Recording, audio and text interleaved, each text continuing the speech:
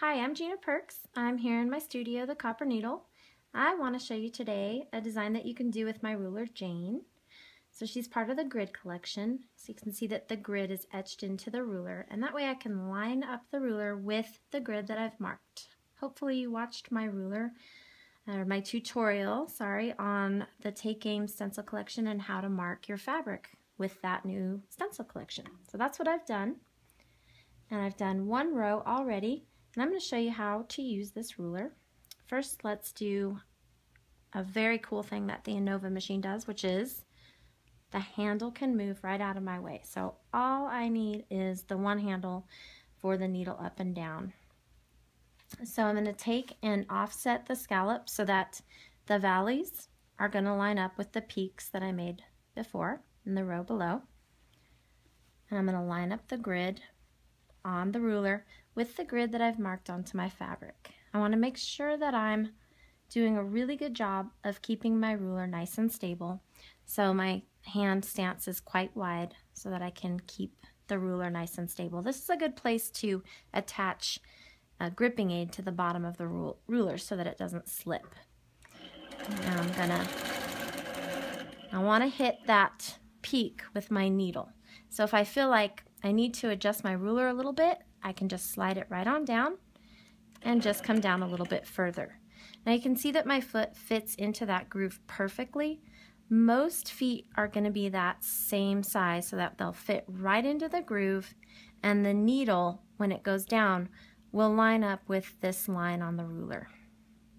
But you might have to kind of work a little bit ahead of time to figure out exactly where you need to place the, the ruler in relationship to the grid. And now we're going to work our way across. Hit that peak. And you can see how cool I'm hitting the intersection points with my peaks and valleys. I might need to reposition my hand so that I have stabilization as I work across. And when you do that, make sure that you stop your machine from stitching.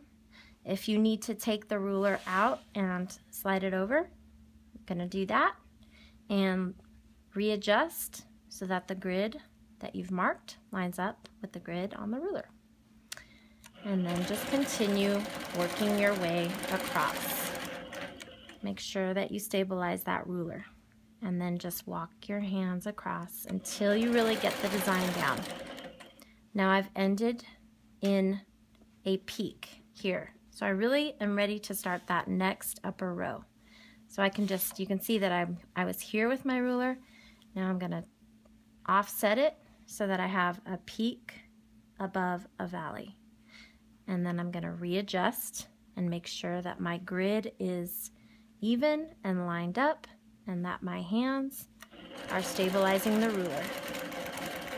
Isn't that cool the way it's perfectly spaced so that the peak lines up with the intersection point and the valley lines up with the intersection point. So I've perfectly spaced clamshells, making sure that I'm stabilizing the ruler really well.